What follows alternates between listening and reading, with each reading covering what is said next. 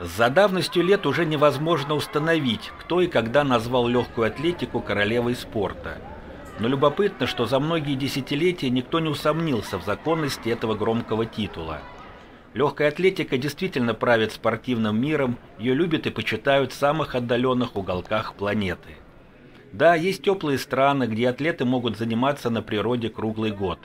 Что же касается нашей страны, то в конце осени легкая атлетика должна переезжать в крытые помещения. Таковы реалии нашего климата. В середине декабря в легкоатлетическо-футбольном комплексе ЦСКА прошли традиционные соревнования открытия зимнего сезона – в них участвовали более 800 юных спортсменов со всей Москвы.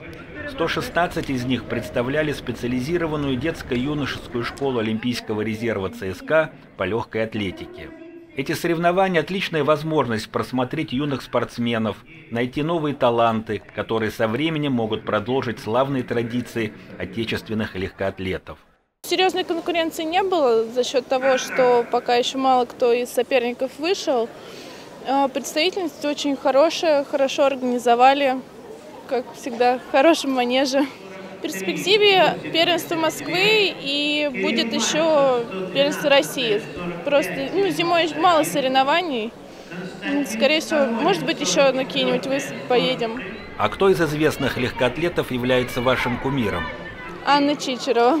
Она выиграла Олимпийские игры, тоже прыжки в высоту и шикарная женщина, я считаю. Техника, сама, сам ее вид. И после того, как родила, тем более дочку, выиграть Олимпийские игры – это очень сильно. После Нового года в легкоатлетическо-футбольном комплексе пройдет турнир «Русская зима», в котором традиционно принимают участие ведущие легкоатлеты мира. У юных спортсменов будет возможность увидеть своих кумиров, в деталях понять их филигранную технику и эмоциональный настрой – без чего невозможны рекорды и победы.